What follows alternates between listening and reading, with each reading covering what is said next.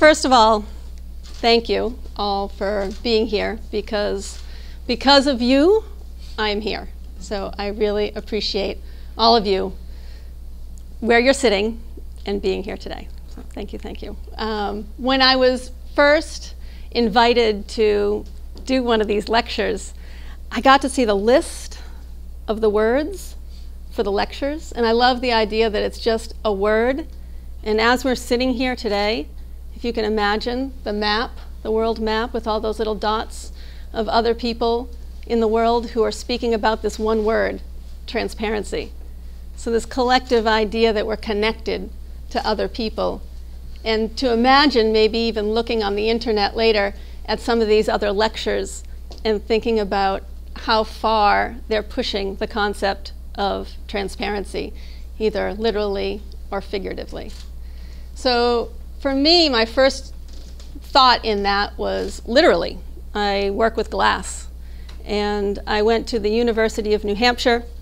I studied sculpture and fine arts there. I was carving wooden figures with a chainsaw and drawing in black and white and thought that, you know, color was just, ugh, you know. And it was after school that I ended up just by chance working for a glass artist. And I didn't even think that glass was a material that I would like, but then slowly the color, I think it was the color and the transparency that grabbed me. So I want to back up a little bit. I've spoke about my work in places where people know about glass or people who are makers. And this audience is my local home. I've lived on South Street uh, for the past 20 years. And I want to show you a little bit of my background and um, why I'm so proud to be uh, from New Hampshire. So when it said hippie van, this is true. um, the woman on the far right with the glasses, that's my mother. She's a woman of the 50s who grabbed on to the life of the 60s. When she was divorced, she moved my brother and I. I'm the one who, um, a terrible picture of me, the, little one down there next to her with my hand on the dog. And um, she grabbed um, her two children and raised them in Thornton, New Hampshire and she thought it was a great idea to buy an uninsulated A-frame. Um, so I really learned how to stoke a fire um, at an early age because she wasn't that good at it. Um, and this was my community. I can't say that we lived in a commune, but it was very close to that. There were lots of adults that came and go. You know, some of them that we knew ended up being school teachers in the um, area, and it was a really loving environment of all these people who were passionate we grew up. So my mother, myself, and my brother. At the time, we used to joke that my brother had longer hair than I did. Um, but she was really and is the most influential person in my life for how brave I think that she has been in her life and how all my childhood she has always said, do what you love and the money will figure itself out. Today she has two pennies to rub together. Then she had two pennies to rub together. But she always followed what was passionate to her. So I can honestly say she's a happy person. She's been happy her whole life. Um, if I came to her and said, Mom, you know, I want to do underwater basket weaving, she'd be like, That's great. I totally support you. You know, I won't give you any money, but I totally support you. So it's always been this drive in my life to find something that I truly love. And I say that now to my children. And they're like, Yeah, I know, Mama, do what you love, she, they say to me. But this is her legacy. And I feel so grateful that that was part of my upbringing. This, being a woman of the 50s, she went to Filene's basement and she got these beads. And when I was a little kid, I saw them in the jewelry box. And I knew that they were kind of made by dripping something, and I knew they were glass because I could tip them on my teeth. And I love the fact that this still exists in my life, this necklace, but this was my beginning in glass. When I got out of UNH, I ended up working for a glass artist who's very well respected in the um, glass community in the world. His name is Dan Dailey. I worked for him for four years, and one of my jobs, these vases are about two and a half feet tall. one of my jobs was enameling these vases with a toothpick. So I'd sharpen the toothpick and I'd mix the enamels and I'd put these little dots on there for weeks on end. It took about three weeks to finish one of these vases. Um, and then one night I saw somebody flame working. So this is me flame working, but you can imagine I being the person here with the sunglasses looking, thinking, oh my goodness, you can do glass by yourself? Because I had seen these vases being blown out in Seattle and shipped around the world. Um, I was fascinated by the idea that you could manipulate glass by yourself. So I went home, got a torch, um, called up a friend who gave me a regulator and oxygen and propane, and I was on my way. So the, what the technique is, rods of glass, torch, melting the glass on a little stainless steel mandrel. When you take it off the mandrel, you've got a hole in it, and there's the bead. These are the rods of glass that I use. Um, these are set up in a factory in Italy. 90% of the glass that I use comes from Murano, which is a little island off of Venice. Sleepy little town. This is um, going to work one morning. I teach there sometimes, and I have a lot of colleagues and friends. A quiet morning in Murano. And then these were the beginning beads that I started to do. Honestly, they weren't this good. This took me about two years to get this good. But I had a little postcard, and people would call me up and they'd say, row number three, bead number seven. Could I have one of those, please? And so it was my catalog. I was starting my life of independence and making these. And I loved it, loved it, loved it. It was you know, you hear about 10,000 hours in order to get good at something. I, I swear I put in my 10,000 hours immediately. I just loved, loved doing this. Um, and then going around to the bead world, very early on, I realized there was a um, bead museum in Prescott, Arizona that was having a contemporary glass bead show. This was in 1990. So I took a little picture of my beads and sent it in. I got into that exhibition. And that was the, really the beginning that solidified a group of us making contemporary glass beads in America. And um, there were about 30 people in the show. From that catalog, I've met many, many people. Also, from this is a little bit dark, but from that catalog, um, you know, there was the flower person and the murrini person and the dot person. And I was the dot person, so I got named the dot queen. And it has stuck. and um, so I'm known as the dot queen. So I kind of, you know, got going and put a lot of dots on those beads that bead, that bead and that movement led to this book, which was very influential in the bead community by Cindy Jenkins. It's been translated in a couple languages. So that bead ended up on the cover here, and that was something that um, really gave me almost a calling card around the world. Um, and that bead is now in the contemporary um, it's in the Corning Museum of Glass, and they used it as their timeline to represent contemporary glass bead making. Uh, so I want to talk to you a little bit about what I do and, and how I think about it. This is a picture of mosaics in Italy. When people ask me how I get inspired, it's usually through things that I see in travels. And strangely enough, it's often architecture, which is so big compared to the things that I do, which are so small. So I love trying to pack designs in really tightly, like those mosaics. This is the floor in San Marco in Venice. I love the idea also that the artisans who worked on this probably, of course, they got paid, but time ends up disappearing when you work. And I like to forget about the concept of time as money and just work from the idea of love and detail.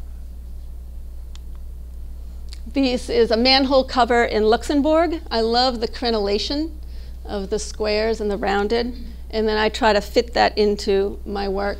This is a brooch that is about two and a half inches large, big lapel brooch, and uh, it's sterling silver. I do all the metal work myself too. This is um, a window in France, which I think looks like a brooch. And here is a large brooch. So you can think about all the brooches being, you know, about two and a half inches wide. These are windows in Venice, in the back streets of Venice. I love those little points. And then I'm trying to translate that into the glass. Sometimes the glass happens and then I see an image and I think, oh my goodness, that looks just like this over here. So it's not as if it's a chicken and an egg, you know, which one comes first. It's not completely clear. These are um, architectural details in Jaipur, India. This is an older slide image, but you can see the, the details. It's in 18 karat gold. These are some of my beads, the large ones um, in the center that look like granite are granite. They're these beads that are four inches tall and they're from Africa. Um, every time I try to figure out the date of them, people just say they're ancient. So I think they're around 900 AD and uh, they're hand drilled granite holes in them. They're beautiful. They have so much energy to them. So I tried to work and make beads that had this kind of feeling. And then the two on the right are from um, Eastern Europe in probably the 1700s. So working with that idea. And, you know, going back to transparency, a lot of the colors that I work with they don't have that transparency in the sense that you're looking at a paperweight and you're looking right through the glass. The skim coat of transparency is very, very thin, and then there are opaque layers underneath it. So there are colors in order to create, let's say, that amber. There might be a very acid yellow underneath, and then layers of light and dark ambers on top in order to create that palette. You see them when they break. You know, when one breaks in half and you look, oh, there's all the color in the inside. Um, this is a long um, brooch made from one of those beads. This is a, a, window in a concrete wall in India, and I swear it must be like eight inches thick, and I love the idea of those pierced openings. And then I played around with making pierced openings um, on my brooches, trying to get them as big as I could and have them physically and visually light. I do drawings, uh, not of the beads themselves, but I'll draw the metal work that I'm thinking about. So on the right and the left, it's the exact same bead, but it's on a different um, idea to be uh, put down for the metal work. And there is a finished piece, so you can kind of see the from the drawing to the piece. A piece very much like this uh, was collected by the Smithsonian Museum of Art, the Renwick Gallery, and it was shelved away in one of their drawers for years. And if you go down to Washington, D.C. right now, there's an exhibition. They've pulled it out and it's um, on display and I'm really proud that it's in the case with an Alexander Calder necklace. so I'm feeling really good about that. It's kind of like having a cocktail party, you know. It, so my, my piece is off, you know, having a cocktail party with Calder. um, this is, think about the brooches and what I've created, I call these constellation necklaces. Sometimes they're very uniform and have symmetry, and sometimes they're um, you know, more diverse like this one, but I, all of them are constellation necklaces, and I'm trying to pull them together. They're quite large.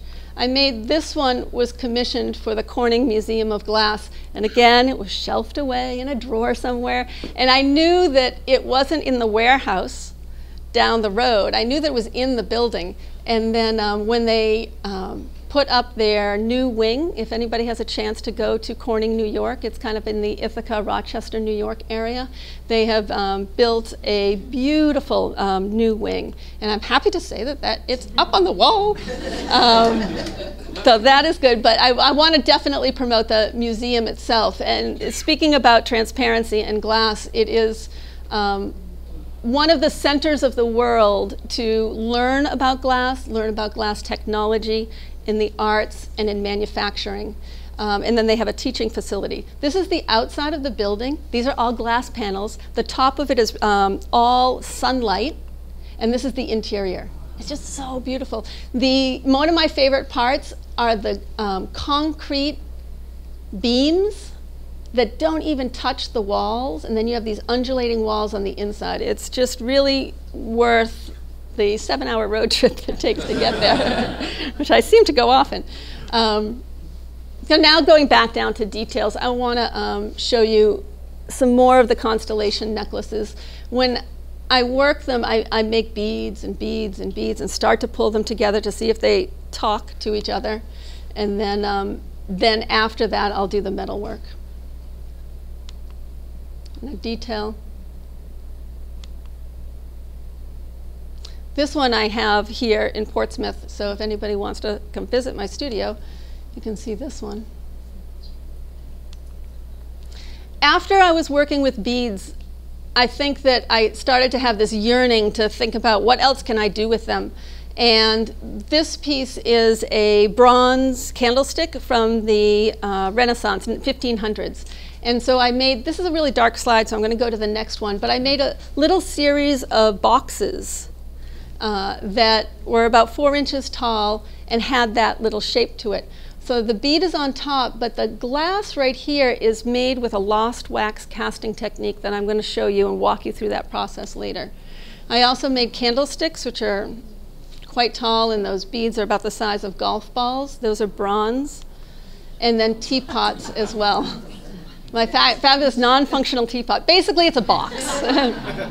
no, you can't even pick it up by the handle. Uh, so I made, this is the last one that I made just last year, and here it is on my jewelry bench. It's upside down. I'm trying to figure out the connection to make it all fit together, and there it is finished. So, a teapot. So flame worked and cast crystal.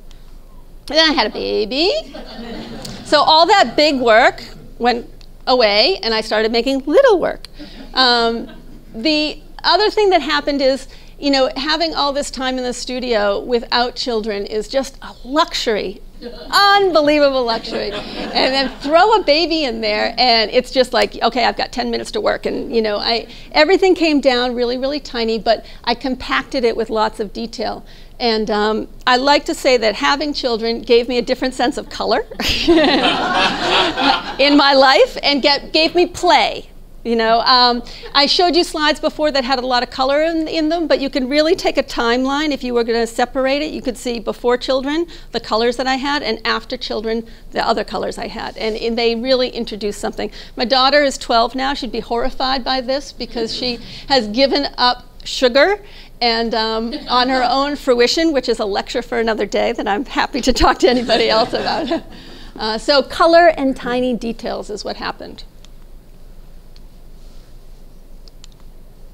So, I want to walk you through the making of one of those necklaces. What I do is I make and I make and I make. I'll sit at the torch for a couple weeks and make the beads and continue to try to push the patterns and push the colors. Once that's done, then I start to get a collection of things that make sense. In this case, I had a client that wanted these amber, red colors. So I kept on working that until I got an idea of how the necklace was going to come out. And I wanted the, the base piece to be detachable.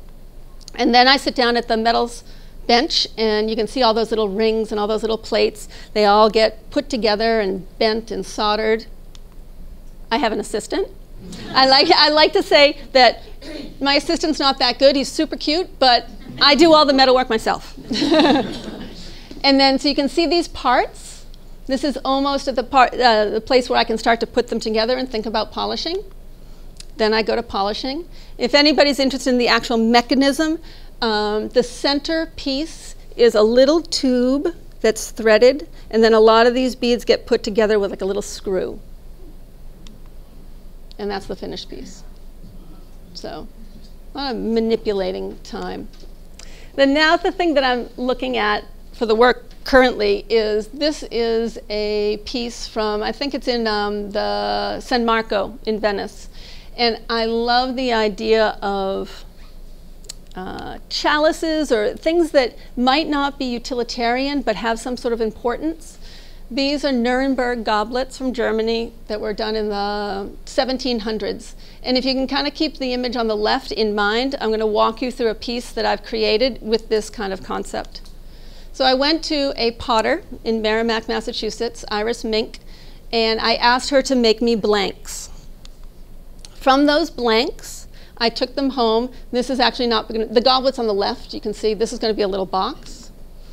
There's the drawing of the goblet, and here are the blanks that she made me that will be the cast top parts of the goblet. Then I went and I had a residency at Corning for a month, which is a real gift to be able to um, sit there and work day in and day out for a month. And I made these molds. So those, the horrible pink is what the color of the um, silicone rubber comes in. And the point of this being is I needed to get positive wax images of those blanks that the potter had um, thrown for me. From there, I invest them in plaster and silica. So now there's the plaster and silica. Inside is the wax. Flip it around, there's the wax. Now I've got to get the wax out. So I'm going to steam it, and now all the wax is out. So now I have the negative image of what I really want to be in glass. And what's nice about these photos is they're so nice and clean and tidy. It's a messy process. You have an apron, and you're mixing, and you got flour, and all that stuff. So now they're all filled with chunks of glass. The glass that I used for this particular piece was New Zealand ca casting crystal. It has a 42% uh, lead level, which means it melts really beautifully. Then I pop them into the kiln, happy into the kiln. And then, uh, four days I think they were in the kiln. When they come out, you can see instead of chunks, now they're all smooth. And now you have to break them off. So you open them up.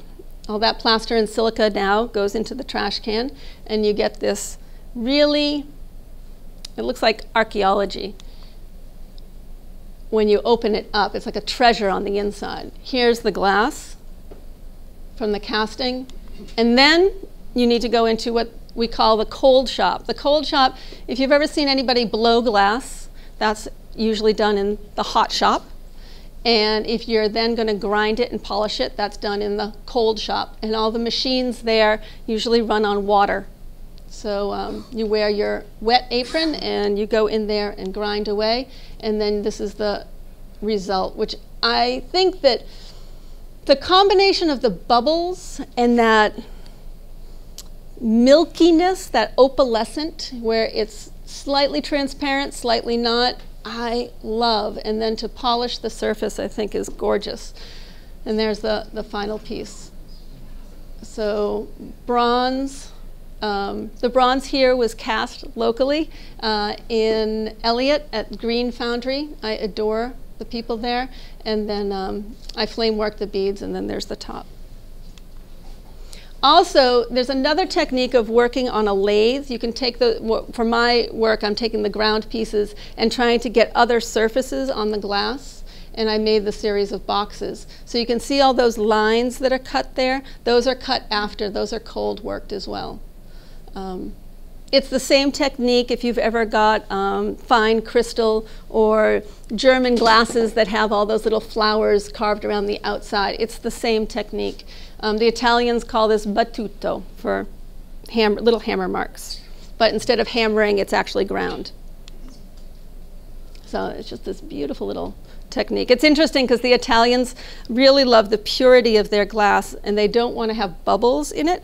So when I uh, was in Venice learning to do this battuto technique, all the Italians were like, oh, but the bubbles. Oh, you know, they couldn't stand seeing those bubbles on there. But I like the, the contrast between something cast and then something ground, sort of that imperfection and the perfection. And that's the scale of it. So here I am in Portsmouth, New Hampshire. Um, it, it's interesting talking to a local uh, community because I often talk to people who don't really know where Portsmouth is, but now you know very well. I'm on South Street, um, not far from Newcastle Ave.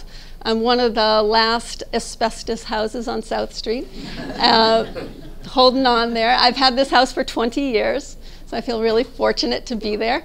Uh, the little garage in the backyard is where my studio is now, and I'm going to show you the, the process of that construction. But right here is the little walk-in basement that I have, and that's where all the magic happens.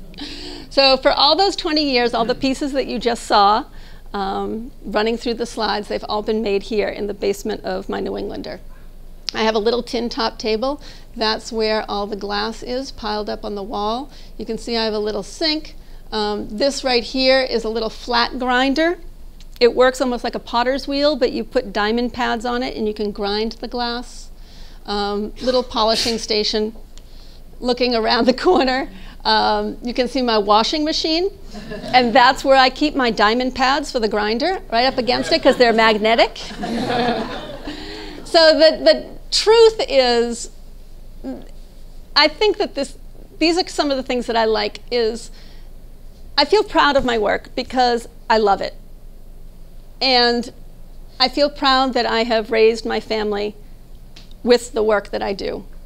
It's gratifying beyond you know means. I, I you know I've worked in restaurants. I've done work for other people. Uh, I feel like I've worked really hard, and I work really hard for myself, and that's okay.